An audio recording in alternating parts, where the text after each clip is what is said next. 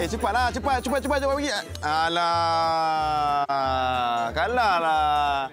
Tak apa, tak apa. Korang praktis dulu lah. Kejap lagi kita main lagi, eh. Praktis lagi, praktis lagi. Daya. Amboi, amboi, amboi. Pagi-pagi tiba-tiba dah culas saya tak datang sini. Assalamualaikum kepada anda semua yang berada di rumah. Selamat menonton Borak Kopi Tiam. Saya sebenarnya pelik bila saya rasa keseorangan. Tiba-tiba Hafni main game. Awak Saya main pun game, rasa pelik juga sebab pagi saya dapat main game kat set. Tak pernah-pernah ni ada macam ni. Sebab Hafni selalunya 24/7 memang selalu memang selalu apa kerja je tapi main game saya macam wah Hafni. Ah, tak sebab bukan apa sebab yang datang ni ni gamers-gamers yang power-power tu Ya. Ni Fahri. kumpulan yang hebat. Ah, Wah. tapi tak apa, biar ada orang praktis dulu sebab macam tadi saya senang sangat nak kalah. Ah. Bukan apa Hafni, saya sebenarnya memang dah nampak awak akan kalah. Mm-mm. Tapi tak apalah kita macam support kawan-kawan nak Betul. mencuba kan. Ah. Ah, tapi tak apa yang penting kat rumah tu gamers ke bukan gamers ke terima kasih banyak sebab pagi-pagi buka mata tengok borak kopi tengok muka Hafni yang cukup kacap gaya nampak tak? Okey, handsome Hafni. Alhamdulillah. Jodoh je tak sampai Hafni. Itulah tak cerita dia. Tak apa Hafni. Jadi saya buka kepada anda. Kejap, kejap. Ah, Awak jangan cakap tak berhenti biar saya cakap pula. Okeylah, cakaplah, cakaplah. Okeylah, fine. Saya diam sekejap. Tak, Ah, sebenarnya saya ya. nak beritahu hari ni, hari ni hari jadi dah Dayah bakar. Oh. Ah, happy birthday Dayah. Terima kasih. Jadi saya kasih. pun baru tahu sebenarnya umur Ya. Dayah. So saya kena panggil akak Ah, sebenarnya. tak payah, tak payah. Sebab saya uh, saya pun perasan kan, saya setiap kali birthday, saya nampak lagi muda, lagi muda, lagi muda. Tak tahu nak buat macam mana. Ha, ha. Saya tengah cari juga bagaimana nampak muda tu. Okey, tapi tak apa.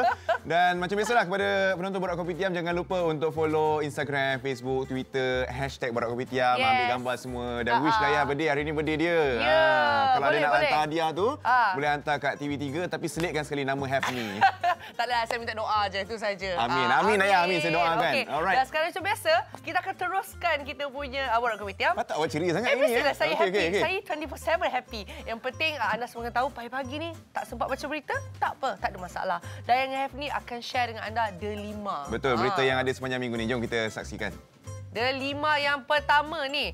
Hafni, tiada kekosongan kabinet masa kini. Baiklah, Mm-mm. uh, saya bacakan sikit lah ya. Jadi ceritanya kalau anda yang tertanya apa agaknya Tun Dr. ni, Mahathir cerita? Mohamad cuba beritahu ah, sikit. membayangkan Presiden PKR Datuk Seri Anwar Ibrahim uh, tidak akan menjadi ahli kabinet dalam perubahan kecil portfolio jemaah menteri kerana tiada kekosongan buat masa ini. Ah, Jadi uh, Perdana, okey. Perdana Menteri berkata demikian ket- uh, ketika menjawab soalan ada pemberita tanyalah yang bertanyakan sama ada uh, beliau akan bawa uh, uh, Anwar Ibrahim masuk ke kabinet. Katanya uh, kami tidak bincang perubahan atau pertambahan ahli kabinet. Mhm. Uh, malah tiada juga perbincangan mengenai pertukaran portfolio ahli kabinet. Jadi itu adalah update yang terbaru untuk mereka yang tertanya-tanya. Ah, jadi inilah dia. Ada Tiada- penambahan ke apa ah, kan? kekosongan ada kabinet dah. masa kini. Alright. Yep. Seterusnya kita nak kongsikan dilema kita yang kedua untuk hari ini. Yep. Ini uh, kerajaan negeri arah kaji semula garis uh, panduan pembangunan Cerun ya. Ini di Georgetown, Kerajaan Pulau Pinang arahkan pihak berkuasa tempatan, PWT dan agensi berkaitan uh, untuk adakan perbincangan segeralah supaya menaik taraf garis panduan pembangunan Cerun sedia ada. Ini yang diarahkan uh, pada mesyuarat jawatan kuasa perancangan negeri yang dipengerusikan Ketua Menteri Chow Kun Yeow uh, semalam uh, susulan hasil laporan Suruhanjaya Siasatan berhubung insiden di tapak binaan Tanjung Bunga yang dikeluarkan uh, hari sebelumnya lah. Uh, jadi uh, yalah uh, kita masih menantikan lagi macam mana keputusannya nanti akan diberitahu kemudian lah. Yes, dan uh, yang ketiga uh, berita yang tak berapa happy untuk dengar Ya, yeah, ni dan Daya. melakukan juga Ha. iaitu uh, pemandu trailer maut uh, laluan terowong menora sesak 7 km. Jadi uh, berlaku di Kuala Kangsar.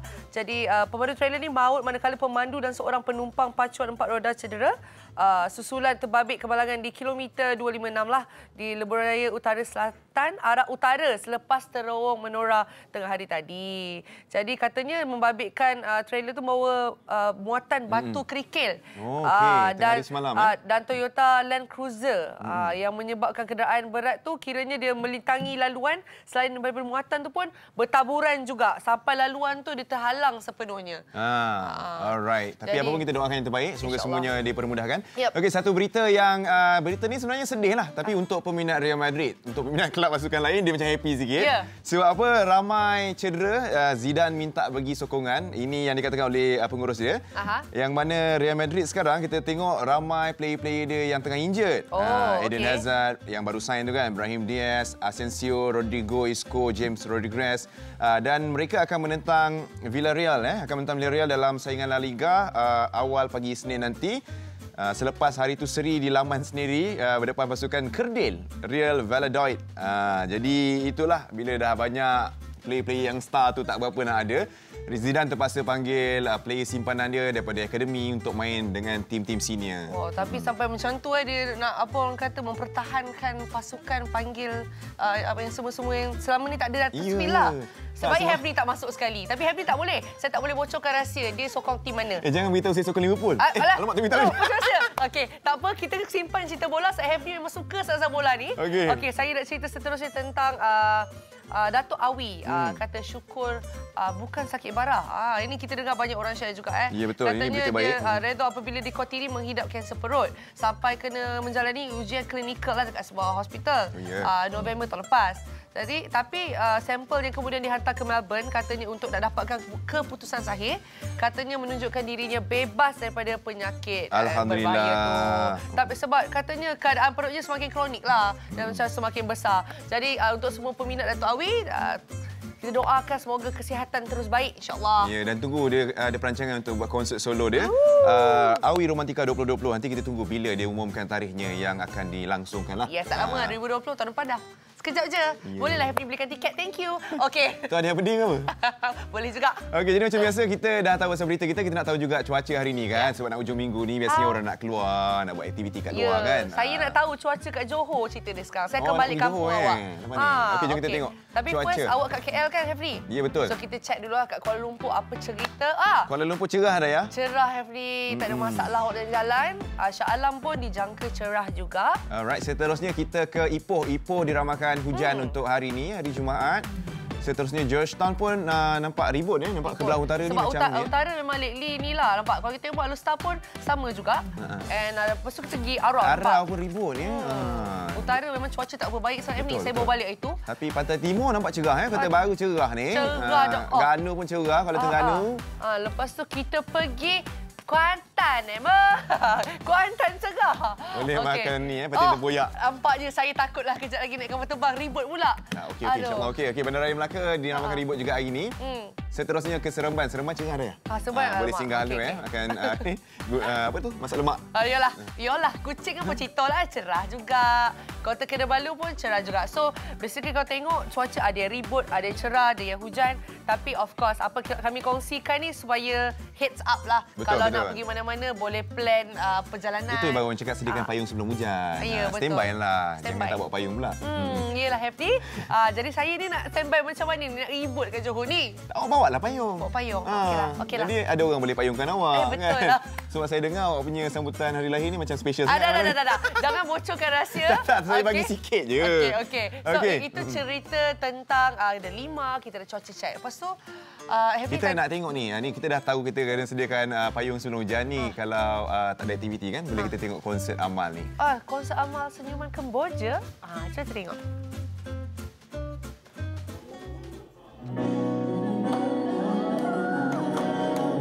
Konsert Amal Senyuman Kemboja. Konsert ini bertujuan untuk mengumpul dana bagi membiayai pembedahan sumbing bibir dan langit khas buat penduduk miskin di bumi Kemboja yang telah diterajui oleh Kengkawan Projek. Kawan projek ni sebenarnya yang unik dia, dia adalah gabungan daripada kawan-kawan yang dah bersahabat baik selama lebih daripada 20 tahun. Dan kami ni semuanya adalah daripada background yang sama, iaitu media. Ha, Jadi sebabkan mempunyai orang kata apa persamaan, jadi kita suka buat benda yang berasaskan muzik. Kita ada satu kempen dipanggil Charity Through Music yang mana itu saya rasa kelainan kepada kawan projek. Sebab kita cuba menengahkan muzik sebagai platform untuk mencari dana dan membantu orang lain. Membawakan konsep berhibur sambil beramal, konsert ini telah memberikan kelainan dengan menampilkan barisan ilmuwan dan selebriti terkenal antaranya Khalif Baskes, Mirwana, Ikwan Fatana dan ramai lagi. Selain lagu yang malas segar, melodi juga memainkan peranan untuk diingati. lagu-lagu sekarang ni dia memang catchy tapi sekejap tu je maybe sebabkan rhythm dia catchy ke dia punya beat ke instrumentation dia tapi kekuatan pada lagu tu adalah melodi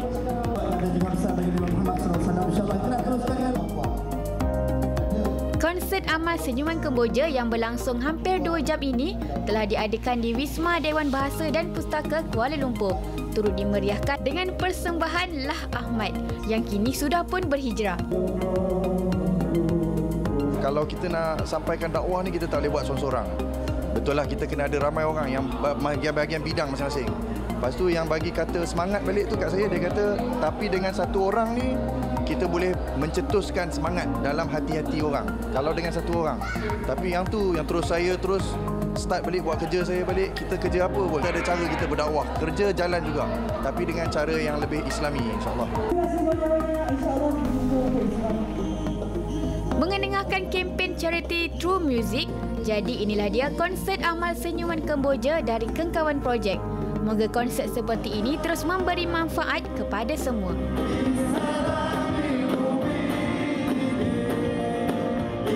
Dalam Quran Allah sebut eh ud'u ila sabil rabbika bil hikmah wal mau'izatil hasanah yang mana serulah manusia ke arah Tuhanmu dengan hikmah dan nasihat yang baik. So bila sebut pasal relevan sebenarnya pada saya adalah bukan sekadar muzik, semua benda yang kita buat relevan untuk bawa orang kepada kepada kebaikan which is wartawan juga semua orang. Kita memainkan peranan kita masing-masing yang penting kita kena sentiasa keluarkan aura yang positif untuk bagi yang positif ke orang insya-Allah.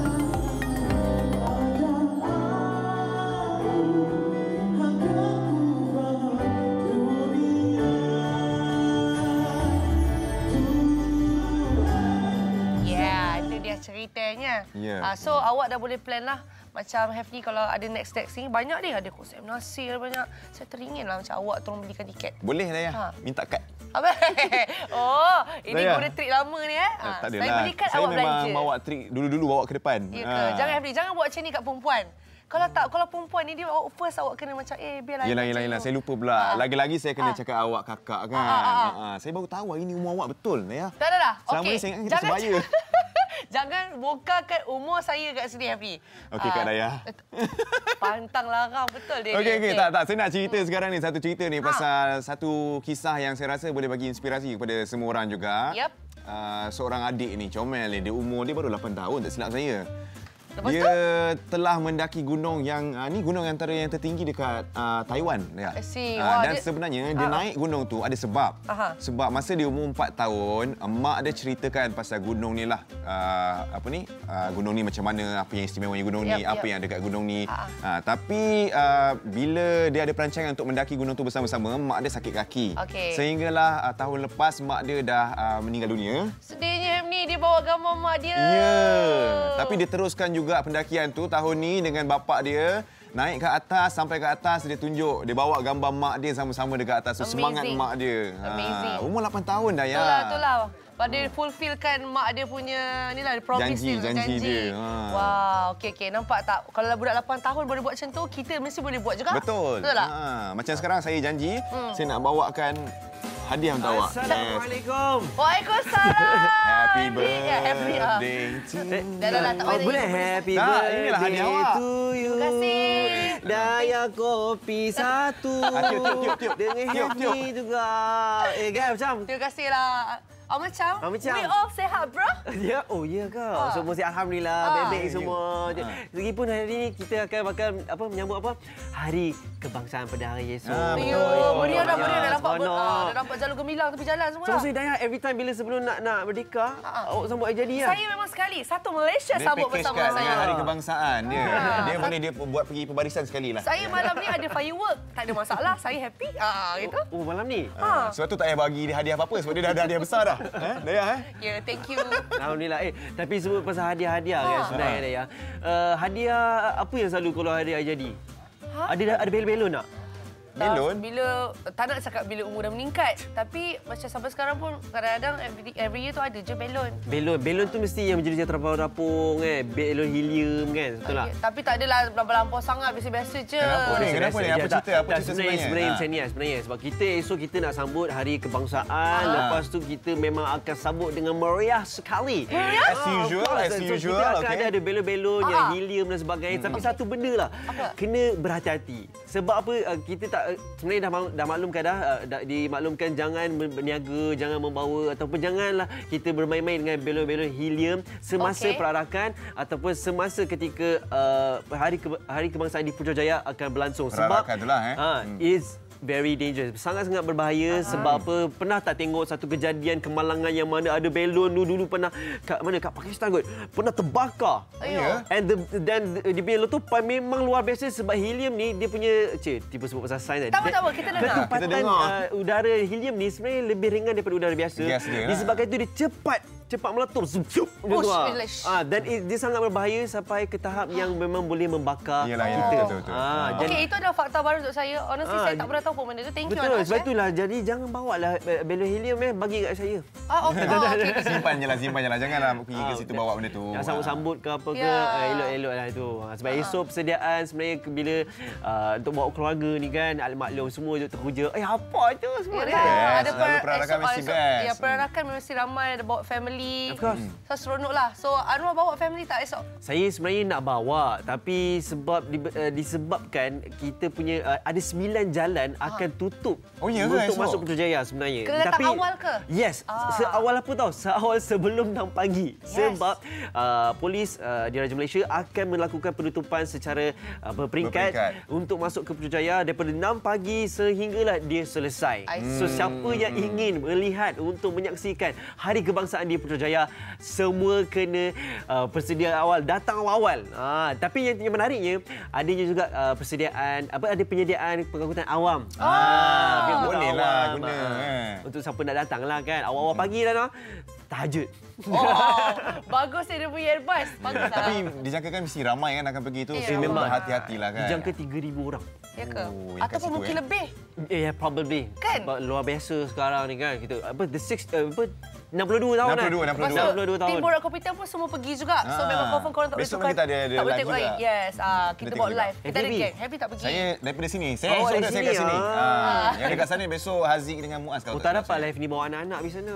Eh sorry, Hefni dia tak ada anak. Dia masih, in fact, in fact, Hefni masih single, okay? Nampak tak saya jual kawan kan? Ah, okay. Tapi apa-apa macam uh, macam esok, kiranya kalau bawa anak-anak tu kena extra careful lah sebab orang. Berhati-hatilah ha. sebab tempat yang padat ni selalunya kan ah, apa ni kita tak tahu apa yang akan jadi jadi Yeah. kena sentiasa berhati-hati Yes. dan kalau ada makan minum ke beli bungkus ke apa semua pastikan buang sampah tu kat tempat tong sampah Ya, ada tolong. Ini Ah. sangat penting. Please, please, please, please. Bawa lah beg bapa sendiri kat dalam beg. Buanglah tu. Janganlah buang rata-rata, okey? Betul. Ah. Sebab di antaranya kalau kita dah ramai-ramai keluar ni kan, uh, harapnya semuanya uh, demi hari kebangsaan dan awal Muharram juga nanti kan. So Yes. kita kenalah jaga kebersihan Malaysia. Jadilah Ya. rakyat Malaysia Azam yang baru. bertanggungjawab. Yang lagi satu, janganlah merokok di mana-mana saja. Ada anak-anak semua kan. Ya. Tak tak sedok, tak bagus untuk kesihatan. Betul. Ah, dan memang tak boleh pun cerita dia. Ah, dan saya, saya saya memang sangat strict eh bahagian ni. Cik, Ya, ya, nampak ya. tak? Nampak Kak tak? Dayah ni serius eh. Kak Dayah hari ni dia jadi macam ekstra ah, garang sikit lah. Kan dah minum kopi kan? Ah, tak apa, kejap kita minum.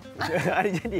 Kopi dah jadi. Okey, eh, kepada Putrajaya adalah kawasan bebas asap rokok. Ya. Ah, kalau ada mungkin yang Cik, macam Yang belum tahu tiba-tiba hari ini dah tahu dah. Alright. Jadi apa pun sekali lagi kita ingatkan kepada yang nak tengok perarakan esok bersempena dengan hari kebangsaan kita yang ke-62, tolong berhati-hati. Memang tempat tu memang meriah, memang seronok tapi uh, jaga keselamatan sendiri, jaga kebersihan uh, negara kita lah. Ya, betul. Ada Betul. apa, Terima kasih apa Abang ada hashtag Ah, apa sama-sama ya, sama-sama. Ada hashtag apa tu? Hashtag apa? Uh, alamak. Borak Kopitiam. No, Eh? apa apa sayangi Malaysia. Ah, okey. Boleh lah. Saya Malaysia. Malaysia ku Malaysia bersih. Ah, saya aku Malaysia mesti ah Yeah. yeah. tu kita mm lupa kau kau tiba kita pun hashtag jaga Mesti kebersihan. excited esok lah ni nampaknya. Okey, sekarang ni cerita dia. Semua dah excited cerita pasal hari kebangsaan eh. Tapi kita nak lihat sekejap.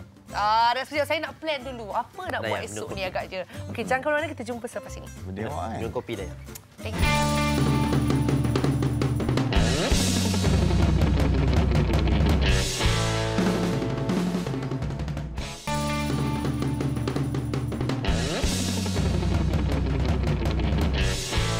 Selamat Kembali kembali. lagi dalam Kopitiam Yes. pagi ni yang cukup ceria sebab apa hari ni Berdiri Raya. Ya, tak payahlah ulang 10 kali. Happy cukup lah. Tak, Ah. supaya lepas ni ramai orang hantar dia. Ya ke? Ah. Okey, okey, Dan okey. nak bagi tahu juga ni kepada uh, siapa yang tengah menonton kita dekat Facebook Live Aha. yang tak sabar nak jumpa gamers-gamers yang power-power tadi tu. Ah, Ya. tak apa, mereka tengah praktis ni kejap lagi akan ada dekat dalam studio kita. So Yes. stay tune, stay tune. Ada Diorang, ada. diorang Ah. tengah exercise saya dengan cerita. Exercise ni memang sangat berat lah. Tapi dia tak mengeluarkan peluk. Exercise jari. ya, jari je sebab dia main game kan. So, gamers semua kena chill, relax. Sebab hari ni sebenarnya kan, bukan setakat gamers je yang excited. Ada juga yang macam peminat-peminat yang macam uh, suka filem-filem yang seram. Filem yang seram. Okey, ini kita nak bagi tahu ni sebab kita ada dalam sana seni seni kita ni. Ah, ah, ya? Ada cerita seram yang baru ni. Ya Terus ke? nak tersasul nak cakap filem Awak seram dia. ya. Awak Saya tak, saya okey je. Oh, okey, okey. Itu saya nak tengok ni. Kalau okey, jom kita tengok sekejap. Saya takut. Jom, jom. Jangan. Melanda hatiku Tersusungan Hanya musuh orang. Selamanya. Bertempat di Kompleks Kraft Kuala Lumpur, telah berlangsungnya satu sidang media sebuah filem yang bakal ditayangkan tidak lama lagi. Barisan para pelakon seperti Fazura, Rem Ishak, Namron, Hisham Hamid serta pengarah filem Dendam Pontianak turut hadir memeriahkan majlis. Cerita ni dia berlaku semasa uh, zaman uh, 1960-an. Ada dua orang uh, Khalid sama Siti. Lepas mereka berkahwin, ada satu Pontianak yang datang ke kampung tu dan mula haunting lah kat, uh, kat kampung ni. Rais, Rais, Rais, Rais, Rais. Kalau penonton pernah tengok filem Hollywood eh, Conjuring ke kan, James Wan. James Wan is a Chinese guy from Sarawak. So dia ada ada rasa seram yang berbeza daripada orang Melayu kita yang pernah hasilkan cerita hantu. Uh, culture orang Melayu. Glenn Goei ni adalah Chinese. So dia ni Chinese dia bawa elemen seram Melayu yang berbeza. Sudut pandang dia lain. Gavin pun sama. Gavin Yap ni pun memang sudut pandang seram dia berbeza. Apa yang dia cuba dia tampilkan. So ini yang menjadikan Dendam Pontianak unik daripada filem seram yang ada di Malaysia. Lagu tema bagi filem ini pula dinyanyikan oleh legenda tanah air iaitu Datuk Seri Siti Nurhaliza. Apa memang meremanglah. Pengalaman yang saya tak boleh lupakan adalah apabila saya dapat berlakon dengan produksi dan para pelakon yang sangat hebat. Saya dan Remy dah lama ditawarkan untuk berlakon bersama. So, saya happy kerana dalam filem ini yang kita dapat berlakon bersama. I miss um, everyone dalam yang bekerjasama dalam produksi ini dan saya sangat gembira on how this movie is going to turn out. Yeah. Saya rasa cabaran itu pada diri saya sendiri maknanya uh, sebab director nak saya play satu watak yang penuh dengan misteri. Jadi kat sini saya rasa uh, saya cuba sedaya upaya saya untuk membuatkan penonton akan merasa kemisterian itu apabila uh, munculnya watak saya.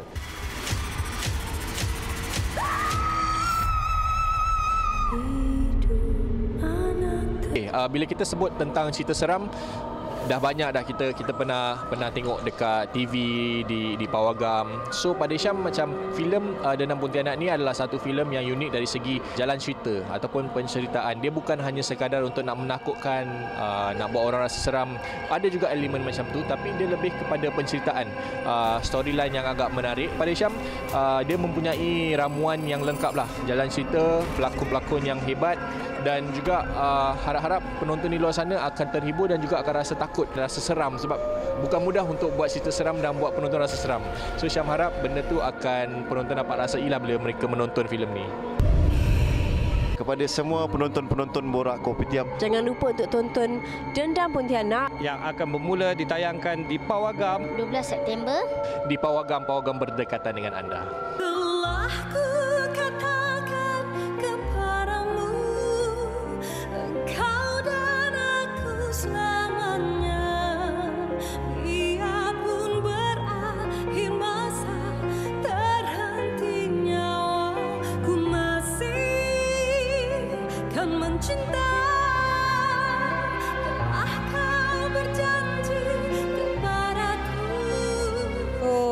Saya saya tak tahulah kalau saya selalunya kalau tengok cerita macam ni, trailer dia pun dah rasa berdebar-debar eh. Ya, saya punya burung, burung macam berebang. Saya macam, Ha-ha. aku kena tengok, aku Macam nak takut. terkejut. Ha, tapi cerita ni memang kena tengok. Tengok dia punya line up power-power semua. Betul, betul. Ha, Jap. ha. Henry, jangan cakap awak hantar, Henry. Tak ada, saya tak tahu siapa yang datang Ya ni Allah, dia keluar daripada situ nanti. Aku salah, Pontianak cantik ni, ya Allah. Apa khabar, Mazura? Hai, silakan. Silakan. Ya Allah, tak sangka? Pagi-pagi ni Pontianak ni boleh datang lah. Harap-harap pagi-pagi ni tak dendam Pontianak dengan kita orang. Tak dendam. Tak dendam. Ah, dia sebab dia seorang je tadi. Dia punya tulis hanya padamu seorang. Ah, Ah, kan? Senyum selamanya. Hanya padamu selamanya. Ah, kita tak dendam. Orang lah. lain selamat, insyaAllah. Okey, okay, so ceritanya dendam Pontianak kan, memang nampak semua orang share macam tak sabar nak tengok. Betul. Ah, InsyaAllah. Ah, dan tapi satulah soalan sebab saya ni orang yang sangat takut. Okey. Tengok cerita-cerita yang scary macam Jangan menggigil sekarang. Cerita belum keluar lagi. Sebab macam alamak Pontianak real life. so uh, macam masa first uh, kira kat first dapat uh, offer untuk berlakon dendam Pontianak. Okey. Macam mana penerimaan waktu first? Of course, uh, mula-mula sekali Faz tak nafikan memang sedikit skeptikal kerana sebelum ni kita dah tengok banyak filem Pontianak. So ada. tak nak buat macam another filem Pontianak. Nanti orang kata macam, ah another filem Pontianak. Macam bosanlah kita dah pernah tengok jalan cerita yang sama. Mm-mm. Tapi apabila Faz ditawarkan oleh Glenn Goy sendiri dan pengarah ni, uh, pengarah yang sangat unik, Glenn Goy dan Gavin Yap, mereka mempunyai uh, adaptasi ataupun satu garapan baru uh, tentang karakter Mina dan juga jalan cerita yang berbeza. It's definitely something yang different lah. Kita tak akan tengok Pontianak mengilai dengan baju kaftan putih ke. Ah, ah. Pontianak tak Ah, dalam ni? Ah, dia, Kebaya dia tidak. merah? Ah, dia ke- ber, ber, berkebaya merah. Dia dia different Pontianak lah, new age Pontianak bila saya katakan. Yes. Tapi kita tahu sebab Fazura pun memang dah oh, macam-macam filem lah kalau nak cerita berlakon. Ya. Cerita cinta, cerita komedi pun ada juga. Ya. Cerita Romantic seram, ah, semua cerita. So uh, daripada pengalaman dengan adanya filem Pontianak, Pontianak ni sendiri kan. Uh, dia kita nak tahu juga macam pembawaan karakter tu antara yang paling mencabar sekali dalam kategori yang mana satu tu. Okey, sebenarnya ni sisi paling berbeza dalam semua yang pernah saya lakukan. Oh, ya? Selalunya Faz uh, berlakon banyak romantic comedy. Ya. Uh, Langit Cinta ada yang menangis-nangis lah. And then Kami Seria dulu pun pernah Faz lakonkan Watak Cik Lang. Aha. Tapi dia more on the funny Comedy, side. yes. Comedy. So ini adalah pertama kali Faz um, memainkan watak yang gitu serius sekali dengan dengan Ya, seramnya dan kan sebagainya. Ya. Takut kita. Tak, dia berdiri je. kenapa dia jadi macam Ya, so banyak uh, mainan emosi uh, which Faz rasa tu makanan Faz lah. Memang Faz suka um, Oh, memang suka memainkan lah. watak kan um, watak-watak begitu. So uh, cabaran-cabarannya of course uh, daripada segi lakonan um, kalau anda tengok filem ni nanti uh, banyak orang kata reaksi-reaksi yang anda boleh tengok tu mo- mostly daripada mainan dalaman Faz. It's not daripada reaction ke apa semua. So itu yang Faz rasa um, sesuatu yang mencabar. Macam ni scene ni anda boleh tengok scene-scene yang mengilai tiga pagi ni, tiba-tiba anjing menyalak lah. Ni semua kita buat memang malam. Okey. Ah, yelah, malam. lepas selalunya si apa ni filem-filem yang seram ni selalu banyak shoot malam lah kan. Malam. Kita start fast start make up pukul 6 petang, 3 jam. Uh, start make up effect tu pun dah 3 effect jam. Uh, and then kita start shooting malam lah pukul 12 12 onward. Okey. So bila cerita dah macam shoot malam-malam ni kan, tak nak tanya tapi biasalah kita kan suka nak tanya juga. Ya. Macam uh, ada Bawang anik ni. bukan Okey, okay, okey, okey, tak apa, tak apa, tak Ada apa. apa-apa yang berlaku sebab syuting kata malam, cerita Ha. buat cerita seram. Masa ada kongsikan ada juga. apa experience yang macam okey tak boleh lupa. Ha. Ada. Sebenarnya ramai yang macam uh, tertanya-tanya juga. Dan di Singapura baru ni baru fast tahu perempuan je yang kena. Laki uh, macam Hisham dengan Remy mereka hanya bawa kemenyan tu semua biasalah sebab memang dekat set kita memang ad, uh, memang ada pasang benda kemenyan semua tu. Untuk of course kita nak Ya. uh, bagi mood juga dan juga of course Feel kita tahu lah, kegunaan kemenyan untuk apa kan. Jadi perempuan macam perempuan macam Fas, Fas nampak sendiri Pontianak tu. Uh, dia tak menyerupai lah. Mungkin dia pakai baju sama macam Fas pakai kostum tu. Tapi rambut dia panjang, uh, mengurai tutup muka. Masa Itu Fas penggambaran nampak tu. masa penggambaran. Uh, Shanti Faziana pula, uh, seingat Fas pada baru-baru ni, first time I dengar. Uh, ada satu scene tu, kalau anda tengok nanti 12 September di Malaysia. Di Okey. Singapura sekarang ditayangkan. Okey. Kalau tengok satu scene tu Fas masuk ke dalam dan Fas bertemu dengan watak Siti tu, Shanti ternampak the real Pontianak dekat belakang Fas. Ya So itu membantu lakonan dia lah. Dia takut lah. dia Betul-betul takut tengok reaction Fas tu. dan dia takut tengok the real Pontianak juga. tu memang reaction dia real lah time tu, eh. Yes.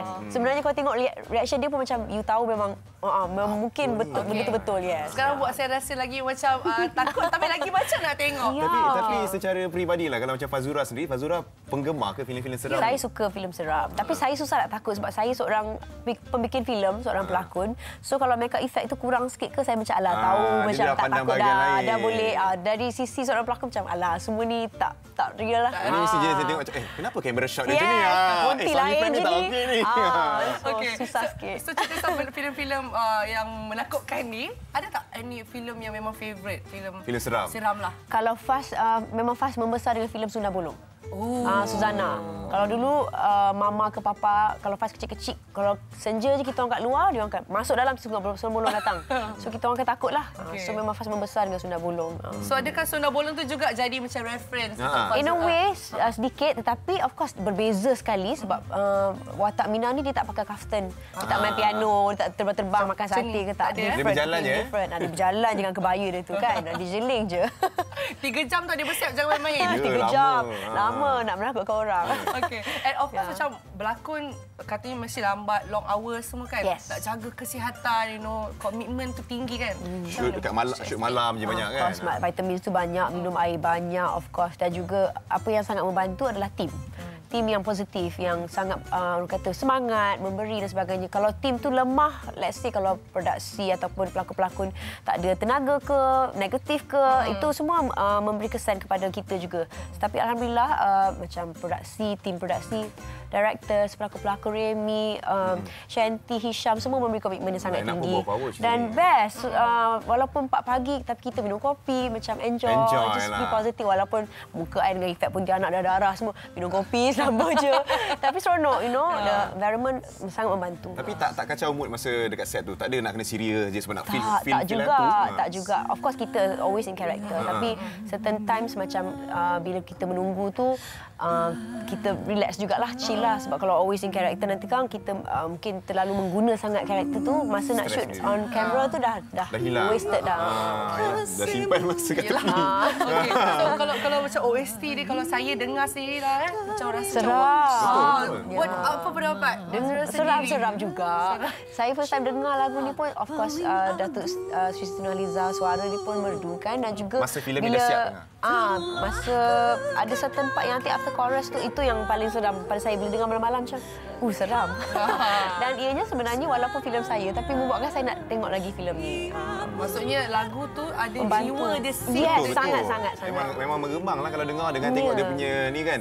Itu tiba-tiba kita rasa pada-pada buah pagi-pagi ni eh. Benda-benda eh. Betul. So, uh, so kita uh, kalau dengar rasanya ramai yang dah repeat repeat on YouTube, Ya. dah share dan sebagainya, Ya. dia lagi feel untuk Betul. tengok cerita Kena pergi tengok, kena pergi tengok. Bila Kan, tak lama je lagi 12 September. 12 September dah uh, akan ditayangkan di Malaysia dekat Singapura boleh dah pergi tengok lah. Tengok sekarang, yes. Hmm. Okey, tapi uh, bocor rahsia sikit je bocor rahsia kan. Scene yang paling macam rasa orang tak boleh miss besi waktu tu orang takut sangat-sangat. Tak?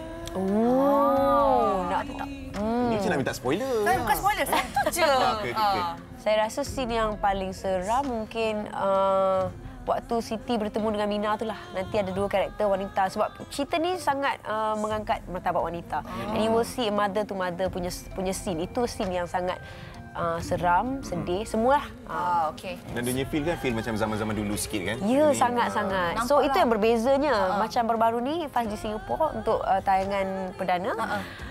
Dipasang lagu Piramli dulu-dulu, Getaran Jiwa semua tu. Kita rasa feel tu berbeza. Sampai, dan ya. seram tu pun ada juga kelainannya. Ah, so, saya harap di sini juga nanti... Uh, during our premiere Selasa nanti uh, pun ada feel macam tu juga insyaAllah. Okey. Sekarang ni cerita dia uh, 12 September eh. 12 12 September September. di Pawagam di Malaysia. Sekarang di Singapura dah dimainkan. So uh, semua peminat-peminat di Singapura uh, terus ke Pawagam tonton filem Dendam Putih Anak. Seram kasih box office. Yes, insyaAllah. Okey, so 12 Memang September. tak? Sejuk saya, nanti saya akan pergi tapi saya tak boleh pergi seorang lah tu Okey, confirm. Saya bawa beramai-ramai berjemaah. Kita pergi sama-sama insyaAllah. Oh, yes. Jangan nak buka lampu terus dalam tu. Janganlah. Jadi uh, jangan lepaskan peluang untuk Betul. Support uh, our local film. Yes. Tengok Dendam Putih Anak mes- mesti korang semua akan menangis ketakutan. Oh, Sebab line up dia power. Ada Remisa, Hisham Hamid, ada Nambah Nambah. Oh, dia orang memang power, memang power. Yes. Ah, Jadi semua-semua kena pergi tengok. Ah, terima kasih Faz yes. sebab datang. Terima kasih Terima banyak kasih. Hafni. Thank you Daya. Thank you. Kita nak tengok sama-sama. Bye Hafni. Okey. Habis saya tinggal seorang-seorang. Uh, Seorang awak kan berani. Ah, kita tengok ni dululah, mita drama kita. Ada mita drama. Okey, jom let's roll. Asal majlis kahwin je, mesti nak ada tema. 31 Ogos tahun ni, kenduriakan. Bila banyak sangat idea, haru birulah jadinya. Balai Raya. Nasib baik ada Ariana. Ha, berkobar-kobar lah Zainal, Lokman dan Aman. Nak merealisasikan kenduri Hari Merdeka. Merdeka! Saksikan cerai kerama istimewa Hari Kebangsaan. Kenduri Hari Merdeka. Satu ini 9.30 malam. Hanya di TV3. Ah, Ya, yeah, adakah ah. ada bersedia untuk ABPH? Kita macam magic dah ni. Ah, magic sebab saya rasakan, Hefri, banyak sangat event-event yang best Betul. ini dan tak lama lagi kita juga ada uh, anugerah bintang popular. Ha, ha, tapi awak jangan seram sangat. Saya Kenapa? boleh da- dapat rasa awak pula yang seram sekarang ni. Kenapa saya seram? Tak, tak, tak, tak ada. Terbawa-bawa Oh, tadi saya tengok terbawa watak. tengok tengok Oh, karakter saya, tu kan. Saya Tengok in karakter juga. Siapa ni? Eh, ini Pontianak. Ini siapa ni katanya? Abang? Tak pernah lagi tengok Pontianak Eh, lelaki, Saya eh. tak boleh orang Melayu macam. Eh, eh. Hai, guys. Silakan duduk. Aduh. Okey, sebenarnya kita dekat sini ah, kita kita sekejap ya kita kena move on dulu daripada cerita sekejap. Pontianak tadi. Tadi wanita cantik. Sekarang uh, lelaki-lelaki jambu dah hello. Uh, Macam Ya. tu. Ini adalah calon eh, calon-calon ABP ni. Ini dia calon ABP ya, untuk kategori artis baru lelaki popular. Ya, betul. Wow. Ya. Congratulations. Thank you, thank you so much. So, kita you so bersaing much. sesama sendiri ya. Ah, ya. So, gaduh ke sekarang Jangan ni? duduk dekat-dekat kalau nak bersaing. Jangan gaduh. Kena gaduh sikit. Gaduh. Kau duduk situ. Aku keluar. Okey, ada So, ni dengan Iswan Ismail. Ha, ha, akan Yeah. bertanding uh, bersaing dengan lagi beberapa lagi yang tercalon eh. Betul, Ha, lagi kita eh? lagi tiga. Lagi tiga, lima, total lima. So macam mana? Korang sebenarnya lima orang memang kenal, pernah bekerjasama ke ataupun tidak? Uh, ada yang kenal, ada yang macam kenal kenal, Kenal- kenal nama Kenal orang dalam lah. industri. Tapi macam untuk ABP ni kita fight lah macam tu lah. Ah, secara tak secara healthy. Okay. So, eh, so untuk Iswan sendiri, masa first dapat tahu, wah, made it to, you know, top 5. Ah. Apa, macam mana? Hmm. How do you feel? Untuk Iswan, Iswan terkejut gila sebab yang first kan Iswan tak dijemput ke PC tu. Okay, okay. Oh, PC untuk inform top 5 tu Iswan Ha. tak dijemput kan. Jadi Iswan macam malam tu macam okey lah tak dapat lah tak apa besok aku pergi gym lah eh. Tak Ah, nak oh, dengar PC. ni. nak release lah tu Aku pergi gym. Tak nak dengar stress sebab, lah tak, Ha, sebab tak ha. nak dengar, tak nak dengar orang rasa pergi gym lah. Tiba-tiba dapat phone call. Ha. Saya punya admin uh, FC call nangis-nangis. Iswan kau dah apa kak? Ini Kau yang menangis ya? Ah, dia nangis. Dia nangis, ah. So tu yang Iswan dapat tahu first time Ha. and dia nangis kan Iswan pun macam alamak keluar air mata alamak kat gym kat lah. gym tak boleh macho sikit macho. Cuba Kat cuba buat kan? reaction masa tahu tu. Macam mana setengah workout tu. Ha? Kak, apa tu? Kak, kejap. Kak, kejap. Uh, one hand, one hand eh. Kak, kejap. Apa? Jatuh. Terus macam melonjak kat situ Ada lah. kecederaan berlaku? Tak ada eh? Okey eh? Awak tak okey? ada sebab uh, kuat kan? Oh, okey ambon. Okey, itu cerita Dia Iswan. Cerita. Adam macam mana? Okey Adam uh, masa dia dapat tahu yang Adam top 5 alhamdulillah siapa tak terkejut kan. Macam Iswan pun terkejut semua. So macam Adam tak sangka sebenarnya macam ingatkan tak lepas. Hmm. Sama lah cerita, tak, tak sangka lah. Ya, tapi bila dapat tahu macam okey kita tengoklah macam mana kan. Kita Jadi lagi nervous? try lah. Hmm. Nervous. Nampak macam relax sangat je ni. Eh tak, tak. Dia Dia dia dia sebenarnya bila dah top 5 ni kena berkempen sikit tau. ada buat ada ikut juga ada apa ni ABP punya uh, road tour tu kan. Ada ada. Uh, macam saya saya ikut road tour dia Komtan dengan yang ke Alostar. Hmm. So Ke JB dengan Alustar kan. Mm-mm. Ya. I see. Okay, so cerita dia sekarang, semua orang kalau dalam satu peperangan, cik, wah, ada Peperangan? strategi. Apakah Peperangan. strategi anda? Tak kejut diam je. Ah, Macam mana cerita tu sikit, cerita nak sikit. berkem- nak berkempen macam mana? Anda nak mulakan? Uh, saya mulakan kan? Ah, Mulakan. Iswan lah, Iswan, Iswan. Dia main pasing-pasing ni. Alah, dia dah tahu strategi saya. Macam Tak mana? apa, ini strategi maksudnya yang um, pihak musuh boleh tahu. Dia kalau nak bagi, kalau nak bagi tahu, biasa orang cakap bagi tahu yang tipu punya. Ah, bagi tahu tipu yang tipu punya. Ni cara FD eh. FD ajar eh. Tak, bukan. Tadi nampak kat belakang ada orang tulis macam tu Okey, okey. So, untuk Iswan, uh, Iswan bagi, rapat dengan uh, fan club Iswan sekarang ni. Ha. Diorang banyak bagi diorang pun baru sebab Iswan pun baru lagi. Ya. Fan club Iswan pun baru juga. Jadi diorang banyak minta pendapat, Iswan bagi pendapat macam mana. Diorang akan tanya Iswan lah. So kita undi macam ni, Yes. apa cara dia. Uh, Iswan every every day juga Iswan akan hantar video kat diorang. Oh, bagusnya. So strategi Iswan kan, macam hantar video Suruh undi semua lah. Eh, eh, korang dah undi ke belum? Ah. kan, kan, tolonglah undi, undi Iswan, support Iswan. Thank you, thank you so much. Sebab diorang luangkan masa Ya, hari-hari ya. untuk undi untuk kita kan. Jadi everyday Eh, Iswan tanya akan mana cuba. boleh? Ni Eh, tak boleh, tak boleh sama, tak boleh sama. Aku dah pusing sini. Ah, terus sendiri. Okey. Ah, itu Macam ah, macam ada macam mana? Ada ke letak banner kat tepi jalan ke gambar undilah saya tak ada? Ah. me. Okay, macam first Adam nak cakap thank you so much kepada Adam Ninizers uh, sebab dia orang tak berhenti support Adam. Okey. Uh, dia orang tak berhenti undi.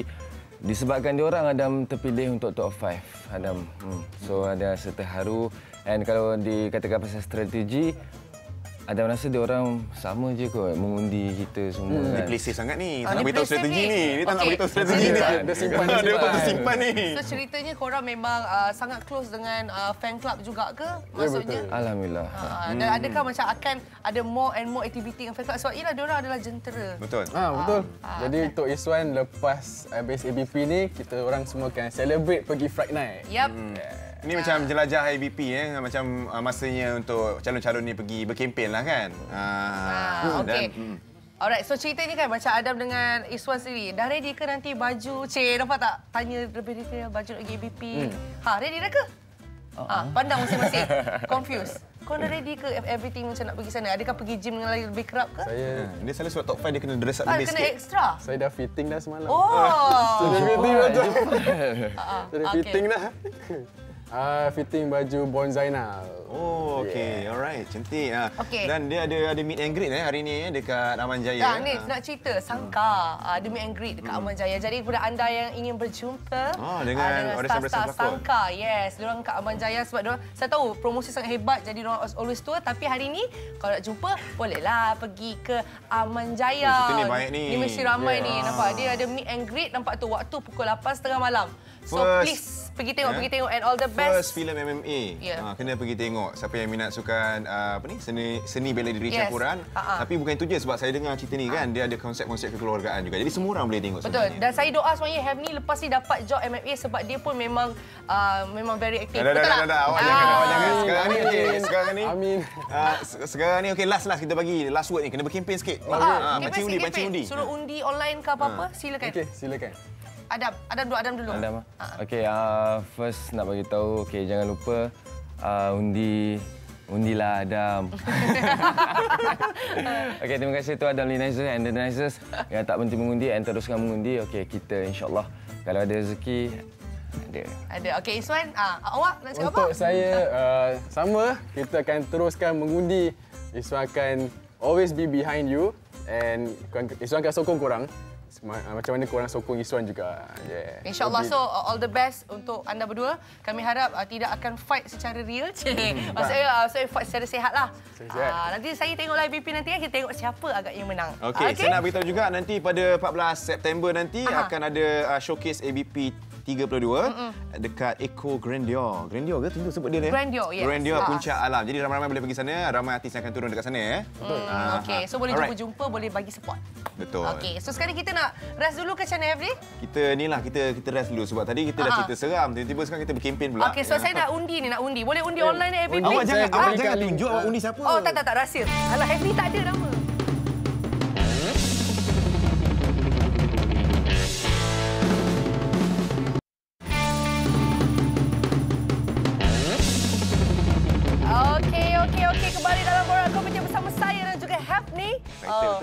Eh, okay. Biasa rasa macam uh, baru start ke kita ni? Rasa macam mesti bersemangat macam Tak, baru lagi start. Ah. lagi satu sebab semangat kita sebab besok kita nak sambut Hari Kebangsaan Ya. ke-62.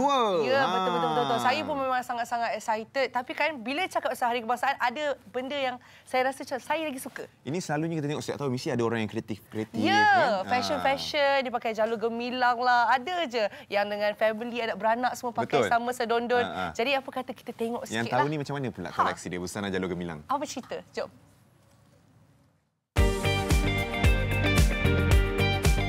Setiap kali tibanya bulan kebangsaan, pasti ada saja kisah yang mampu membangkitkan semangat kita. Tidak terlepas juga buat Amira Nabila, seorang tukang jahit yang akan mengambil peluang untuk menghasilkan set baju jalur gemilang. Saya start menjahit pada tahun 2014 dan start buat baju jalur gemilang tahun 2016. Set pendekar ini merupakan satu kelainan dan juga desain yang paling digemari antara yang dihasilkan oleh Amira sendiri. Tapi kenapa set pendekar ni ya? Sebab dia mewakili kan Malaysia kan tanah Melayu. Um, bawa busana Melayu itulah. Buat Amira yang sudah tiga tahun menghasilkan baju jalur gemilang ini, setiap tahun bulan Ogos merupakan bulan yang dinanti-nanti kerana hobinya ini mampu menaikkan semangat patriotiknya. Untuk satu baju set pendekar saya ikut dalam sehari boleh dalam 10 pasang. untuk siapkan set pendekar. Ukuran juga perlu betul dan tepat supaya jalur pada bendera tidak tersalah potong. Ha, bagaimana pula dengan material yang digunakan? Kita guna material bendera ada, kain satin, ada yang setengah sekolah yang tak boleh guna bendera, kita guna kain-kain kain-kain bendera ni lah, tema warna bendera kan.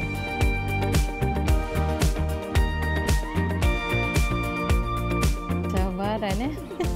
Setiap hari ada je orang akan share dengan saya kecam lah uh, bila kita guna bendera untuk buat pakaian kan. Walaupun dia mendapat kecaman dari orang luar, namun dengan semangat patriotik yang ada di dalam jiwa tidak menjadi penghalang buat Amira meneruskan hobinya ini.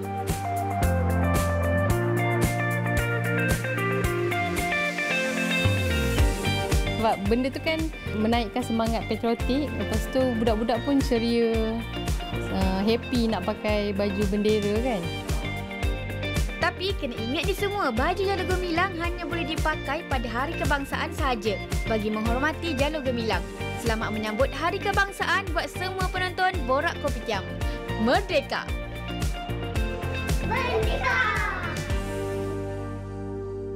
Saya rasa kan Dayah, baju-baju ni mungkin kita boleh cuba letak dekat platform cantik tu. Oh, cantik? Ha, awak tahu tak cantik tu? Platform cantik apa? Saya cantik bukan? Bukan, Oh, bukan. platform cantik ni. Oh. Tak tahu eh? Apa- ceritalah lagi sikit apa? Ah, dia Sekejap, ah, sekejap, tengok, sekejap, ah, sekejap. Sebelum saya cerita dah ada orang yang sampai nak bagi tahu kat kita. Lah, dia Johanisa. Okey, kita ada Encik Johanisa dan juga Yeah. Fairuz Ramdan yang akan Good morning, ada. good morning. Silakan. Terima kasih. Masuk. Ah. Ah. Ah, Sebab saya kalau saya nak cerita lebih-lebih pasal Ah. cantik, saya tak apa nak tahu. Ah, ya ke? Saya barulah ingat awak cakap Daya cantik. Bukan rupanya. Awak nak cerita uh, Itu lambat lagi. Okey, tak, tak, tak. Okey. Okey, Cik nak Johan, bercerita. uh, Hmm. Cik Johan Isyad dan juga Fairuz Ramdan datang macam tak cik, datang macam meminang lah kononnya. nak cerita tentang cantik yang Habib cakap ni ke? Ha, ya ya adalah ada kita punya apa nama e-commerce yang baru lah. Oh, Ah. online punya platform Online untuk punya membeli. platform. Cakap mungkin ya. kita boleh letakkan baju tu tadi kan, Cik Johanna? Ah, ya. Ha, tapi apa apa bezanya cantik dengan platform-platform uh, online uh, yang lain? Okey, yang, yang pertamanya nama dia agak unik eh sebab dia ada X. tu. Ya. C A N T I X. Cantik. Okey, ejaan Ah. dia, ejaan dia belakang X. So orang senang orang orang ingat lah sebab dia pelik sikit kan ada X kat belakang. Nombor dua sebenarnya sekarang ni zaman apa orang cakap IoT ya, Internet of Things. Mm-hmm. Terutamanya uh, e-dagang ataupun e-commerce. Mm-hmm. Kita tengok past how many years ni memang dia punya growth dia tinggi lah. Okay. Orang sekarang dah berani beli mm-hmm. online kan. Kalau dulu orang tak berani. So kita fikir untuk artis-artis ni sekarang orang bukan saja berlakon atau menyanyi. Sebab mm. orang apa ada produk-produk sendiri. Koleksi dia. Kalau kita tengok follow Facebook, follow Instagram dia ada saja benda-benda Betul. produk kan. Mm. So why not kita buat macam celebrity punya mall tapi uh-huh. on internet. Ah, so kita create lah okey. cantiks.com.my ni. So ada satu hub yang orang semua pergi serang. Kena Semua pergi letak kat situ. Maksudnya dalam cantik ni barang-barang selebriti lah Barang-barang kan? selebriti. Antara antara selebriti yang ada letak barang kat situ Ah, saya ada nama banyak tapi Ah. saya sebut sikit lah ya. Uh, Nora Danish, uh, uh, Nana Mahazan, Zoe Hmm. Rahman, Syah Fadli, Karl Syafiq, Said Dewa. Oh, ramai, Nika ramai, Azam. ramai. Ah, yang ni, yang ni, uh, ni plate ni. Uh-uh. Ejen Ali. Oh. Ejen Ali pun dia letak baju juga. Ejen Ali pun berniaga sekarang. Eh, Ejen Ali. Eh. Saya pun nak nak ni lah nak nak, nak ketengahkan nama Ya. Fairuz Ramdan. Ah, Ah, kalau you nak cerita sikit Fairuz Ramdan, Ah. you punya macam mana celebrity status FR FR punya brand ni. Um, okay, um, actually this uh, pertama kali juga kita dijemput duduk bersama selebriti. But uh, rasanya um, pakaian ni uh, jenama ni sudah empat, tiga empat lima tahun Mm-mm. dan rasanya um, quite well known now. Betul. Ah, kan? Eh, saya rasa Awak pun selebriti juga. Kalau baju stylish memang saya rasa memang Fairuz Ramdan. Betul. Dia serius. Ya, Ah. Ah, bos, ah, sekali cakap oh, Dia punya, represent. dia punya bear, bear biru. Itu dia punya dia punya trademark dia. Ha. So jadi um, kita pun tak ada uh, um, apa third party uh, e-commerce punya platform. Ah, okey. So rasanya um, collaboration ni memang uh, kita kita seronok uh, I mean to be a part of this. Maksudnya akan ada apa ni koleksi Fairuz Ramdan sendiri juga dekat Ya situ. betul. Actually dah dah live dah ada dah pun. Ah. Dah boleh beli dah. Boleh beli. Dia dia yang memang special design untuk dekat cantik tu. Yes, ah betul.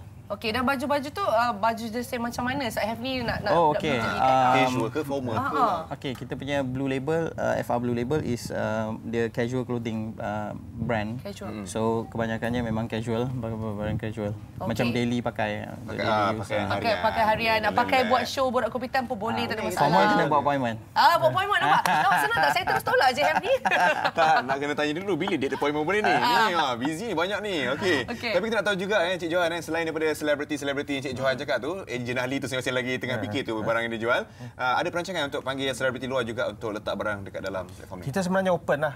Ah, tak kisahlah mana-mana selebriti yang kalau dia punya produk tu masuk akal untuk untuk di, disebarkan di Malaysia ni, ah, boleh saja. Tak ada masalah. Tapi kalau tapi macam cakap lah di hati ni kita nak tolong lokal artis Ya. lah. Ah, Nak okey. Tolong lokal artis lah banyak mana. So so bila saya sembang dengan artis-artis ni semua uh, yang ada dah ada produk ni kita cakap kat dia sebarkan mesejnya kepada artis-artis lain yang ada produk. Datanglah ramai-ramai. Kita target 40 50 artis tu that means dah strong lah e-commerce ni platform tu kalau kita dapat. Ya. 40-50 tu have ni. Masuk Ah. have ni 51. Ah. Ah, boleh kan? Okey. Dan bercerita tentang uh, penjualan barang-barang daripada selebriti. Kadang orang takut. Mahal kot sebab selebriti punya harga. Dia punya range harga pula. Ah. Macam mana tu?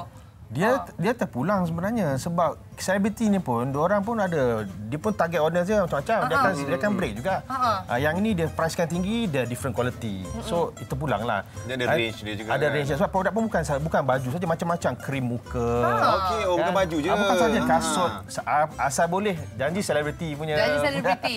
Ah, dia tak kisah lah maksudnya. Aksesoris kan. Ah, aksesoris, pakaian, ma- ah, makanan tak Makanan ada ada eh? tak? Makanan ada tak? Makanan saya tak sure setakat ni. Kena kalau tak lama pula ada. Macam for example macam under Media Prima kita ada banyak brand kan TV3, Ha. TV9, TV punya brand, radio, Hot FM dan sebagainya. Kalau ada produk-produk daripada Media Prima punya brand-brand ni semua pun akan keluar di situ. Maksudnya macam merchandise semua pun boleh Ha, beli. semua kan Oh, dia ini nak beli. Ha. Ha. Ha. Ejen itu yang saya kan? cakap ejen Ali tu kan. Beg sekolah lah apa semua. Ha, jalan. Habislah. Ni kalau anak tahu Eja Ali ada dalam cantik ni memang dia attack beli semua lah. Betul, betul. Ah. Memang semua orang pandai pergi sekolah pakai baju, eh, pakai baju, pakai beg ejen Ali lah. Hmm. Okey, dan uh, dah macam kata uh, macam orang yang nak tahu cantik sebenarnya website. Betul. Share sikitlah. Uh, Sekarang ni dia orang Ni tengok dah dekat up, TV. eh, dah ada, eh, dah boleh- boleh buka. So so ni baru baru apa baru online lah okey. Uh, macam biasalah kita pergi tengok barang kita pilih dan dia ada macam virtual trolley ya. Ya, ya, ya. Masuk masuk masuk. Uh, boleh bayar melalui kredit card, uh, debit card, online dan sebagainya. option Ah. pembayaran. Nampak tu kalau anda tengok kat skrin sekarang kan dia ada tulis tu macam ada gambar boleh add to cart ke Ah, something like that kan. ah. Ah, jadi pandai-pandai lah Boleh. ya. Scroll lah sendiri. Saya Okey. rasa yang tengok sekarang ni boleh angkat handphone sama-sama tengok TV tu. Nak tahu Ah. website dia www.cantiks tu X belakang dia .com.my eh. Ya, Johan, betul. eh. Hmm. Ah, Okey, dah dah- boleh start beli dah. Ya, ah, tu nampak ejen Ali punya. Ejen Ali punya. Okey, dan untuk Fairuz sendiri kan sebab saya rasa kat luar ramai peminat yang macam nak mencuba. Ada yang mungkin tak pernah try. You you nak bagi tahu apa dekat orang dekat luar kena beli you punya baju dekat Cantik ni. Ah. Okey, um, buat masa ni uh, FR physical store pun belum menyeluruh satu satu Malaysia lagi kan. Uh, kita cuma ada, ada hanya ada tujuh. So jadi um, boleh go online uh, can- cantik.com.my um, untuk uh, better access sebab kalau tidak asyik sold out kan. Ya. Di sini, uh, Dengar tu asyik sold out okey. So boleh cepat-cepat lah. So, Oh, baru ramai brand memang cepat tau. Ah, Memang cepat sold out. Yes, betul. Lagi satu saya rasa bagus dengan online platform macam ni. Tak kisah you duduk dari mana pun, Betul. you Ya, beli betul. online boleh sampai kat rumah. especially yang macam uh, Sabah Sarawak. eh. Ya, ya. Boleh boleh beli juga. Boleh pakai baju Fairul Ramdan lepas ni. Okey, jadi jangan lupa pergi uh, website again www.cantiks. X kat belakang .com.my. Okay. Yes. Terima kasih Cik Johan, terima kasih Fairul datang. Cantik. Oh, ini dia punya trademark dia. Cantik. Saya baru saya baru. Oh, baru buat. Dah macam Black Panther dah saya rasa. Okey, Okey. terima kasih lah sebab beritahu. Jadi mungkin orang boleh pakai lepas ni. Ini satu lagi. Ha. Ya, kita nak cakap pasal fashion ni. Ya, kan. ya. Ah, Ada satu ah, yang viral ni, yang trending ni, yang tular ni sekarang ni. Ya. Ah, Ada sekumpulan ah, remaja di sekolah ni. Dia memakai pakaian-pakaian yang ah, ala-ala Raja Permaisuri Agong kita. Oh, ya. tu dia kata persis. Saya nampak banyak orang share gambar tapi memang sangat-sangat elegan. Tahu tak fashion kalau kita tengok uh, fashion Permaisuri Agong, Mm-mm. dia macam timeless, klasik dan juga elegan. Jadi saya Betul. rasa lepas ni kan orang kata Mm-mm. hari raya ke event ke apa semua lepas ni ah pakai baju tu tau. Nampak dia punya styling. Ada shawl nampak tak? Ah. Baju kurung, lepas tu ada shawl dekat atas. Ah. Ya, ah. Tapi- dan tapi- bila bila dia post ni kat tweet Ha-ha. memang jadi viral lah banyaklah komen-komen orang yang retweet, orang yang reply dan yang paling best kali Ha-ha. uh, Raja Permaisuri Agung kita pun reply tau tweet Ya, tu. Dia kata cantik cantik. dia kata. Ah dia pun kata cantik. Cantik. Ah. Memang kena sangatlah tu. Okey, uh, saya rasa mungkin ini akan jadi inspirasi yang lagi besar kepada Yes. kita rakyat Malaysia Yes. sebab yalah fashion tu memang saya rasa memang sangat uh, nampak sopan dan cantik Betul. kan. Lepas tu lagi-lagi daripada Permaisuri Agung kita. So Betul. jomlah kita pakai. So lagi feel lagi nak sambut hari kebangsaan kita. Ah gitu. Hmm. Ah nampak tak nampak tak? Okey. Ah, ah. Oh, okey. Tak apa. Uh, ke belah sana sebenarnya kita dah ada game-game kita tengah warm up lagi. Kita nak Oh, beritahu okey. yang tengah tengok kita kat Facebook Live. Tunggu, tunggu. Gamers semua tengah warm up. Lepas ni diorang akan main game tu. Uh, sambil-sambil tu saya akan lawan. Mungkin kalah lagi sekali. Tak Ya apa. Allah, kenapa borak komputer hantar Hefni untuk lawan game? Dia terror bola je. Eh, alamak, siapa datang ni? Alamak. Ah, boleh okey, ke? okey. Ah, ya. Boleh, boleh lari sikit ya? Ah. Assalamualaikum. Cepat, cepat, cepat. Okey. Selamat datang. Silakan. Okey, sebenarnya Daya saya bukan apa. Saya Ya. dah siapkan dah. Ya. Uh, saya nak check inkan awak untuk bermalam di muzium tau Daya. Awak untuk saya? Yes, Malam ah. di muzium? Ah, ah, Macam tapi- dalam movie tu? Uh, tapi awak tak awak depan gate je dulu. Awak jangan masuk ke dalam. Sampai hati. tak, tak, tak. Okey. Okey, kita sekarang kita bersama dengan uh, Intan Masayu Abdullah, Kurator Unit Pendidikan dan Khidmat Seranta Muzium Negara dan Betul. juga uh, Nur Nabila Abdul Rahman, uh, penolong pengurus perhubungan awam dan media digital ya. Nak Okey. bercerita pasal ni lah yang saya cakap tadi lah bermalam di Muzium Negara. Kita tanya, Ah. kita tanya dekat uh, Bu Intan dululah. Dan bila orang cakap tu bermalam di Muzium Negara, apa benda ni? Ah. Okey, uh, semua terima kasihlah diucapkan kepada Hefni dengan Daya. Okey, uh, untuk program berbalan di Muzium Negara untuk makluman semula adalah merupakan signifikan uh, program di Muzium Negara sendiri Mhm. yang mana program Muzium Negara ni orang kata kita tidur di Muzium Negara di dalam galeri. Oh. yang Oh, mana semua student akan tidur di Muzium Negara lah pada masa tu. Ah. yang melibatkan orang kata dua hari satu malam lah. So student ni akan menyambut ambang merdeka lah masa tu. Okey, okey. Ya. Ni bersempena dengan Hari Kebangsaan kita. Betul. Tu, tu, Hari gambar macam Kebangsaan. tu ke? Ha, ya betul. Macam tu lah. Ha, sebab tu saya kata awak kat luar dah penuh kat dalam ya. Yelah, baiklah. Saya tolong jaga kat luar tu kan. Okey, dah bercakap tentang aktiviti sebab dua dua hari satu malam. Lama Okey. juga tu kan? Ah, Walaupun betul. satu malam. So, apa aktiviti yang student-student ni akan buat? Okey, untuk aktiviti ni ya, setiap tahun dia akan meliputi dua komponen yang mana hari pertama student akan didedahkan kepada aktiviti cintakan tanah air, Okey. orang kata hargai kemerdekaan itu Ya. sendiri. Manakala aktiviti kedua kita akan dedahkan semua student ni kepada aktiviti permuziuman. Yang mana orang kata treasure hunt lah, yang mana Ya. student akan dilibatkan dengan orang kata artifak, mencari harta karun ke macam tu Musa Okey, berjanggut. okey. Ah. Okey, so far uh, selalunya berapa ramai student? Okey, kalau untuk bagi tahun ni uh, seramai 200 orang yang akan terlibat di Muzium Negara yang mana merangkumi 9 buah sekolah lah di Lembah Kelang. Okey, dicampuran lah. Ah betul, Ah, ni 200 yang terpilih lah ni. Ah eh. betul. Ah, minta maaf lah Daya. Sorry, uh, nama, nama saya lagi tak boleh masuk lah. Satu, saya bukan student. Second, Ah. Hefni memang so saya duduk luar je. Ah. Okey, dan uh, uh, macam mana agaknya penerimaan kan? Macam uh, the kids, diorang macam mana? Excited ke? Dia orang suka? sangat excited Ya. untuk menunggu tambah-tambah kepada ambang merdeka lah. Dia orang macam nak tunggu apa yang terjadi. Ha, Hmm. Apa yang ada kat situ orang Ah, tahu juga kan. Ha. Mm-mm. Tapi macam bermalam di muzium ni pernah dibuat sebelum ni. Mhm, betul. Ah, ah. Betul dia nak- mula, dia mula dibuat pada tahun 2016 lah yang mana masa tu dah Malaysia Book of Record. Ah, dah tiga tahun lah kiranya kalau macam mana ya. Ah, dan untuk tahun 2019 ni apa antara kelainan yang ada? Kelainan Ah. tahun ni uh, kita Dah tak akan bawa buat lembik sendiri. Ah, bukan. kita akan pakai tengkolok pada Ambang Merdeka Wow. serentak 200 orang dengan urus dia yang mana akan didaftarkan pada uh, Malaysia Book of Record. Okey, Ah, masuk the lagi tau Daya. Tengkolok. Dan uh, tengkolok tu maksudnya memang uh, custom made ke macam mana? Student akan buat sendiri. Wow. Ah, kita akan buat bugis tak balik. Ha ah. Ah, tahu tak tu? Ya. Kena kena- dia, kena dia, tengok lah. Dia banyak nama tu. Betul. tu. Ah, Ah, jangan dia- tanya saya. dan, dan, dan nak tahu juga yang guru-guru yang menjaga tu. Ah, guru dia tak akan ada. Kami akan menjaga mereka. Ah, okey. Ah. Alright. okey. Nah, ah. dan ah, ah, nampak macam ya, tu, ah, ni macam tu, cerita bila aku nak cakap. ya. Ah, bila dia? Kita nak tahu juga macam yalah ah, dengan ah, objektif sebenarnya program ni selain daripada yalah kita nak sambut Hmm. Betul. ah, apa ni hari kebangsaan Hmm. objektif lain yang mungkin ada sebab apa kumpulkan 200 student ni untuk tidur Idea satu malam.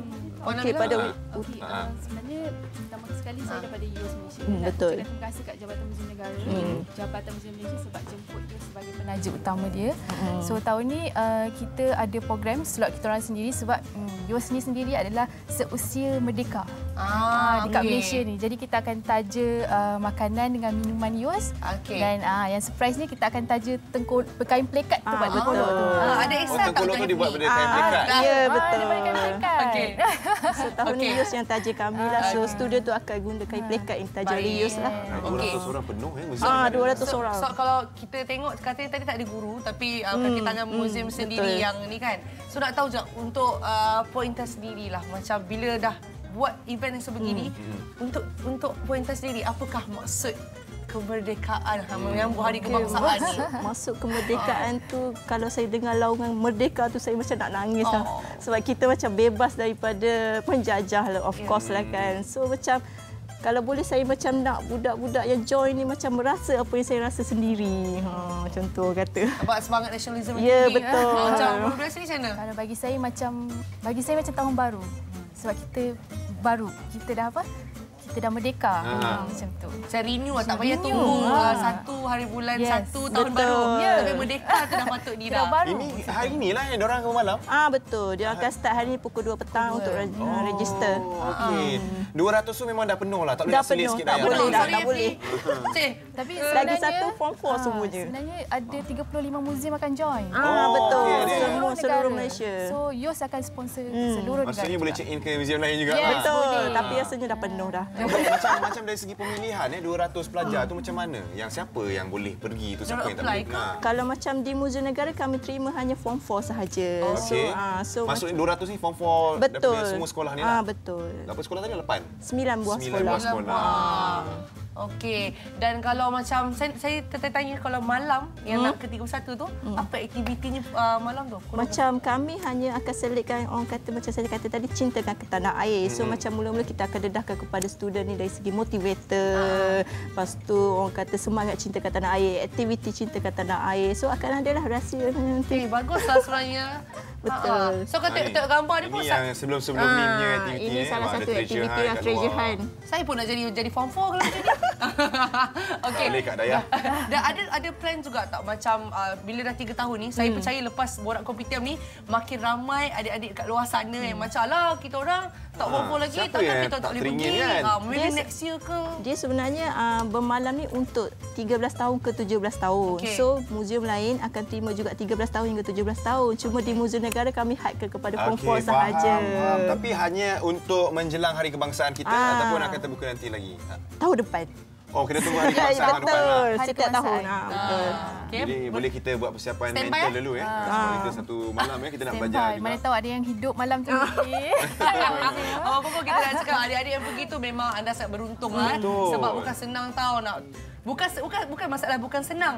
Wow, Awak saya bermalam. pun tak, bermalam di muzium pun. Bermalam dengan tempat yang penuh sejarah. Banyak Ah, sejarah-sejarah yang ada dekat situ. Yes. Ah, dan terima kasih banyak ah, dekat Pointan dengan Puan Nabila sebab sudi kongsian kami tentang bermalam di muzium. Ah gitu kan. Cari Saya terlebih. Eh, saya, saya, saya sebenarnya saya pernah pergi muzium dan Ah. dia pernah cerita dengan saya benda ni. Tapi saya tak boleh join lah sebab saya dah lebih form Ya, ya, tak Betul. apa. Mungkin mungkin ada lah. Kita buat tak ada memang tak ada eh. Buka Tak kepada ada. publik tak ada Mungkin, perancangan eh. mungkin lepas ni kita boleh Yes. buat lah. Ah, saya rasa mungkin kita dengan boleh lah, eh. keluarga. Ya, ya, insyaAllah. Nampak kita orang bagi idea lah. Ah, Okey. Apapun sekali lagi terima kasih banyak sebab kongsi dengan kami. Betul. Dan uh, selamat Hari Kebangsaan. Terima kasih. In advance. Okey, kebangsaan juga. Ya, sama-sama. Okey, Hamdi. Mm-mm. Kita dah cerita ni, kita nak cerita uh, apa? Tak, orang sebenarnya orang ni sebenarnya tak sabar pasal gamers ni dia nak tengok dia orang main game. Tak apa Ya. sabar dulu. Tapi- tengok lagi dekat Facebook live tu. Ah, ah, ah. Okey, sebab sekarang ni kita nak beritahu pasal ni kegigihan Kegigihan ah, seorang wanita. pecinta kucing juga ya. Ya. Imagine ada seorang wanita ni yang berumur 42 tahun ni dia kerja part time uh, sebagai uh, dia kerja sebagai uh, clown lah badut semata-mata nak cari duit lebih untuk nak bagi kucing stray cat makan. Wow. Imagine kita selalu cari lebih kenapa kita nak beli barang tu nak beli barang ni ataupun uh, mungkin kita nak uh, kehidupan lebih baik. Tapi wanita ini sangat-sangat mulia dia nak kehidupan yang lebih baik untuk stray cats. Uh, dan kalau anda tengok sendiri eh, Fonsa wanita ni bekerja, dia ada kerja biasa as, uh, dalam uh, beauty punya line lah. Bayangkan dia boleh tukar jadi clown dan bagi stray cat makan. Dan ini adalah gambar dan apa yang dikongsikan di blog.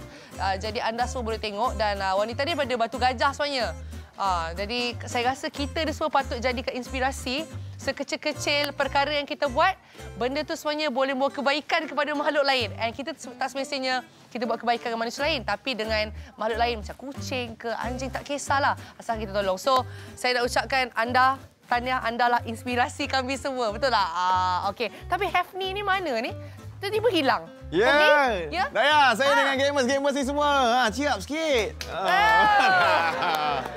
tak, dia orang bukan apa. Sebab tadi saya dah kalahkan tim dia tu macam alamak. Tapi tak apa tak apa. Sekarang saya rasa saya saya inilah saya bersara lah daripada main game biar korang je lah yang main eh. Ha, ni kita nak kenalkan ni dua tim gamers yang antara yang cukup hebat lah. Ha, cerita dia sekarang ni kumpulan apa yang sini?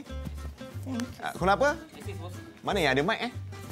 Oh, saya yang kena sebut. Ini bosku kat sini. Ini kumpulan... Shopee Bosku. Ya, ha, hebat sangat kalau diorang ni main game kat belakang. Kalau kita boleh tengok sikit, ada dekat sini. Ah, nampak? Sambil-sambil tu dekat dalam studio kita ni, saya rasa saya sendiri ni pengalaman pertama saya ni. Ada orang main game dalam studio. Ha, tapi tak apa, sebab diorang semua tengah concentrate. Ha, korang semua macam tak nak layan je. Eh, saya kat. Tanya je, tanya je. Tak main game ke? Yang tak main ni dah kalah ke macam mana? Dah menang awal lah. Oh, dah menang Ah, awal. Kita bagi yang orang training dulu. Aha, dan banyak sebenarnya pencapaian-pencapaian yang hebat orang dalam e-sports dia eh. Ha, e-sports lah kita panggil eh Ya, game ya. ni semua eh. Aha. Electronic ah. sport. Siapa nama tadi? elektronik. Ya, Nur Edi. Edi, ha, kita nak tanya Edi lah. Edi, macam mana Edi kumpulkan tim-tim ni semua? Ada buat audition ke apa? Uh, basically dari start dengan rank dan tournament. Dari tournament tu kita Kejap, nampak ah, cakap bahasa yang senang faham sikit tak? rank tu ranking. Okey, Ah, ranking. ranking mode dan uh, Tak ranking tu apa? Dia antara apa tu? dia in game tu ada rank dia, top global ke. Ah, okey okey. Maksudnya filter daripada situ lah. Ya, ya, kita filter Siapa tu. yang rank tinggi-tinggi tu korang scout lah. Ah, kita try scout dia Ah, sekarang. okey, mula dari situ. Dan lepas tu orang akan ke tournament. So dekat tournament tu kita tengok achievement dia macam mana. Ah, individual seorang-seorang. No no, dia by group, by, By team. group lah. By Lepas tu squad. baru filter out, kumpulkan jadi satu grup. Ke Ya. memang semua daripada dulu memang ni satu kumpulan yang sama? Lain-lain. Tapi Shopee antara yang eh, Shopee Bosku antara yang agak lama juga. Ah, agak lama ke agak power? No no no tak tak. Kita selalu kat kat bawah eh.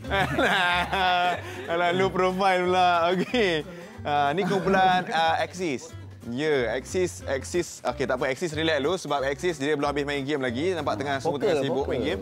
Lepas ni kita nak tahu lagi pasal e-sports ni. Kita macam saya cakap lah, saya tak apa. Saya jadi pengadil je lah hari ni. Saya rasa saya dah give up lah nak main game. Tak apa, biar orang yang lawan sama sendiri. Biar orang yang ceritakan pasal game ni semua. Biar orang yang cerita pasal e-sport ni. Daya, awak, awak jangan sibuk. Tak, saya nak kacau juga Ni sebab diorang game tak layan awak. Diorang tengah main game, diorang tengah nak menang. Betul tak korang? Betul kan?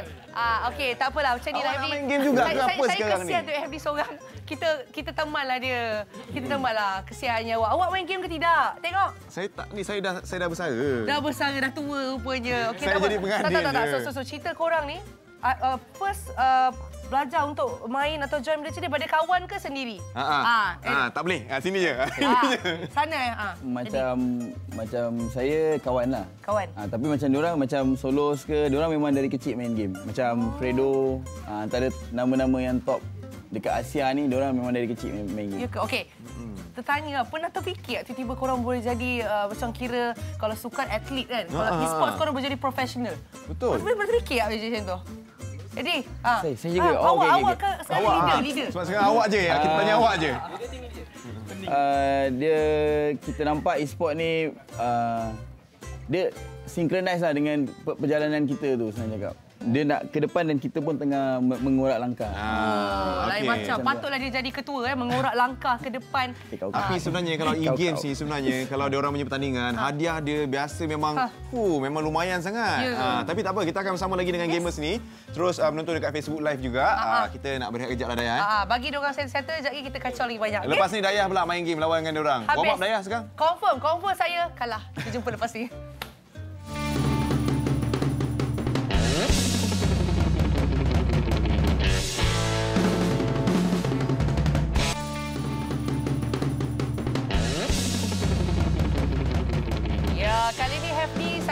Uh, laporkan dia sudah pun kalah dan menerima kekalahan beliau. Tak, sekarang ni awak nak kena lawan dengan Eddie tau. Oh okey, Eddie cakap bukan lawan. Eddie akan train saya jadi saya boleh jadi profesional, saya boleh wakil Malaysia lawan dalam sukan C. Betul lah sebab mereka ni semua antara uh, apa ni squad yang terlibat nanti eh akan Ya, betul. bersaing untuk sukan C Ya. pada Disember di Filipin. Ya. Oh, hebat Wah, ni. Saya rasa kan ramai orang dia tak faham tau. Macam Hmm. mana e-sports ni korang wakil, macam mana boleh jadi wakil Malaysia? Cerita Hmm. sikit Eddie di perjalanan tu. Ah, ada qualifier. Ah, dia ada dia ada pusingan kelayakan dia Okey. di mana uh, apa e-sport Malaysia atau ESM tu memang dia ada buat dia organize tu seluruh Malaysia which is uh, Labuan, Yambe, KL, Johor semua lah satu Malaysia. Semua negeri Ah, lah. semua negeri ada dan uh, siapa yang uh, dua on top tu akan go through pergi bootcamp. So dalam bootcamp tu 10 orang pergi dia, dia akan pilih 7 orang saja untuk wakil Malaysia. Tujuh yang terbaik lah. Ya, tujuh So uh, macam nak tahu mana, bila dah cakap wakil Malaysia, Betul. kalau macam apa-apa sports pun, training mesti setiap hari. Ya, Ah, betul. macam korang sendiri? Uh, Hazim lah. Ah, Hazim, Scott, Hazim. Scott. Cerita sikit, Scott. Ah. Macam mana? Uh, practice tu, training tu, tiap hari ke? Ah, kita orang kalau kita orang sekarang tengah in MPL kan, Mobile Legend Professional League kan. Okey. So kita orang compete dengan tim Singapura, dengan tim-tim yang terpilih kat Malaysia. Okey. So lebih kurang 10 tim lah. So, masuk kita orang 10 tim. so every day kita practice dalam 4 jam sehari minimum. 4 jam sehari. Minimum 4 jam Ah, sehari. minimum. Maksimum? Maksimum 8 jam boleh.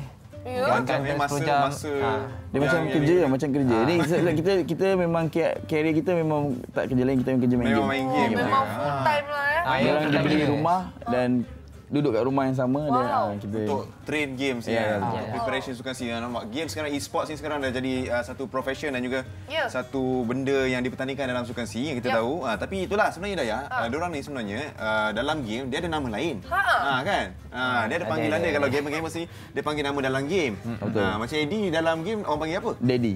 Daddy, senang eh. Sama Ah. je bunyi dia. Eddie Daddy Ah, saya Solos. Solos? Solos Ah, orang panggil saya Scott. Scott Scott. Ah, Scott. Nama Mak Saleh lah. Nama Mak Saleh. Nama Mak Saleh. Okey. Ah, tak betul, sangka. betul. Tak sangka. Cakap Melayu terror lah dia. Itulah Okey, cerita dia. Macam solos lah. So korang lagi selesa kalau kita panggil nama dalam Ah, game lah kan. betul. Ah, ah. Solos, awak ni macam mana boleh start ni? Tiba-tiba masuk uh, apa game uh, Mobile Legend, lepas tu sampai jadi profesional.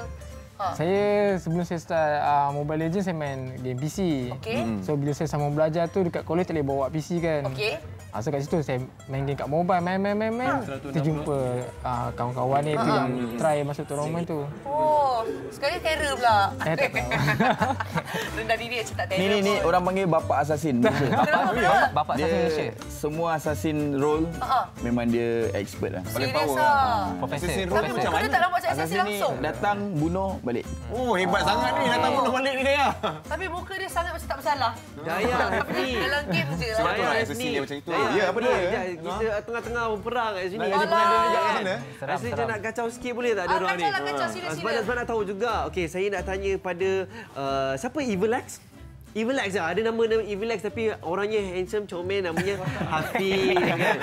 ha, Hafiz, Hafiz. Just nak tanya lah, tanya. Apa, kalau kita tengok orang main game-game semua ni kan, semua hidup fokus di sini ni. kan? Macam mana pandangan uh, tentang uh, persaudaraan di situ? Adakah kita cakap, eh anti-social gila ataupun sebenarnya adanya nilai persaudaraan? pada pendapat saya tu main tu sambil mendapatkan silaturahim lah. Kita dapat kenal uh, masing-masing Aha. kawan dalam game tu kita dapat jumpa kan. Uh, macam tu lah. So, so Hafiz saya. memang seronok lah Macam bila macam Okey geng geng kita ramai-ramai ni Kita minum-minum jumpa pop situ. So Ah. adalah juga nilai dia juga Ah, kan Yelah, mengingatkan silaturahim sama sama kita lah kan. Hafiz ni janganlah malu-malu Alah Dia malu-malu pula eh. eh dia, dia game-gamer ni dia malu juga Zazir nak tanya Okey okay, cantik Hafiz okay, uh, How about you? Oh tengah berperang eh Ah, tengah berperang. Tengah berperang Tapi macam mana Do you uh, uh, Rasanya macam memang Ada je uh, Hubungan kita makin rapat ke Sebab dengan cerita You guys pun Bukanlah uh, uh, Bukannya tak kenal tu Semua is one family kan Ah, ya, betul. Kami family bila main ni memang orang cakap selalu communicate jadi kita rapat lah gelak-gelak main suka-suka. Ya, yeah. ada gaduh tak? Gaduh, gaduh ada juga kadang-kadang. Ga- Gaduh tu uh, tak Gaduh berat lah. sangat. Gaduh manja Oh, Gaduh manja. Gaduh manja je. Gaduh, gaduh manja dengan Hafiz lah. Ah, selalu dengan Hafiz. so sekarang ni kalau nak perhatikan, you guys uh, semua tengah main Mobile Legend. Yes. And then everybody akan semuanya satu family. Uh, apa yang buatkan you guys sebenarnya tertarik dalam permainan ni sebenarnya? Oh, sudah. Oh, saya tanya orang lain lah. Okay, di tengah main, di tengah main. Perang, tak, awak tak, awak tak main kan?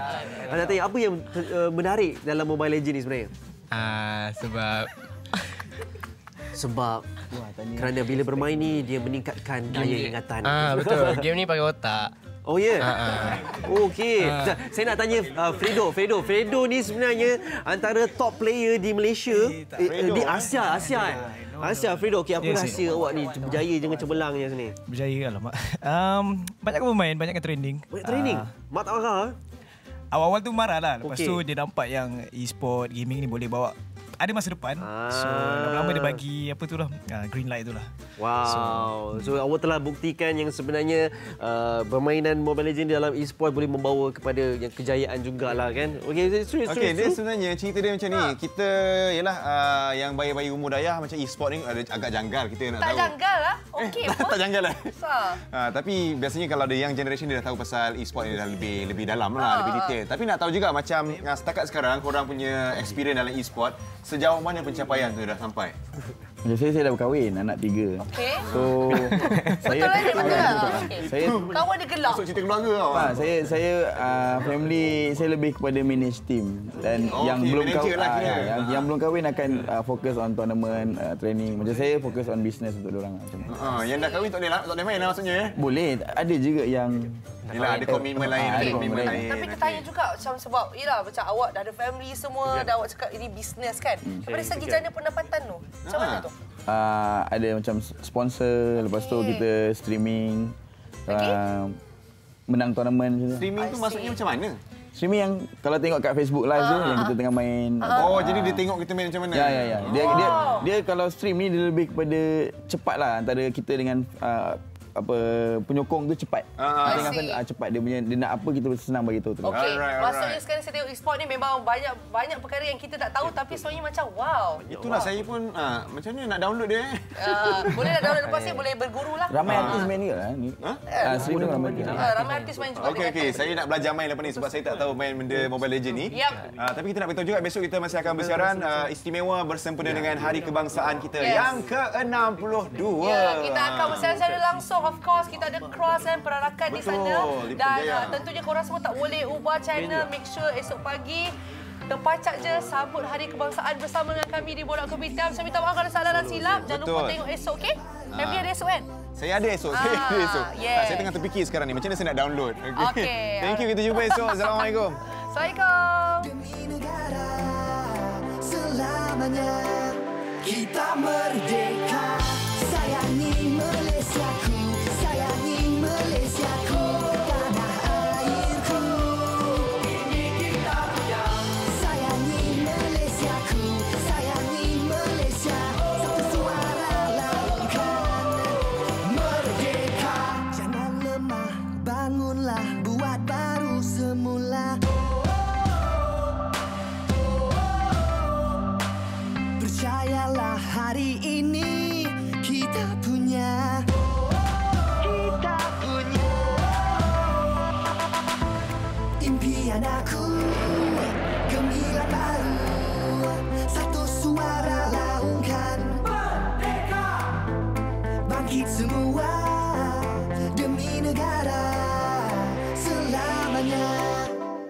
summer.